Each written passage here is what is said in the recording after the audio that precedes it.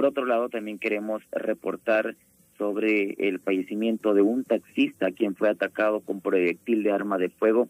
Este hecho ocurrió en la comunidad de Cojaj, específicamente en Secoyou, San Pedro Carchá, Alta Verapaz. En este sector se dio este ataque armado. Los eh, bomberos eh, pues acudieron a la emergencia y también constataron que la víctima ya no contaba con signos vitales.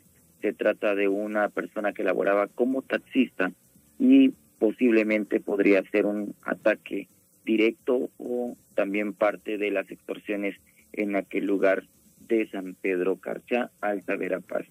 Con la inmediatez de la radio, Sonora es la noticia.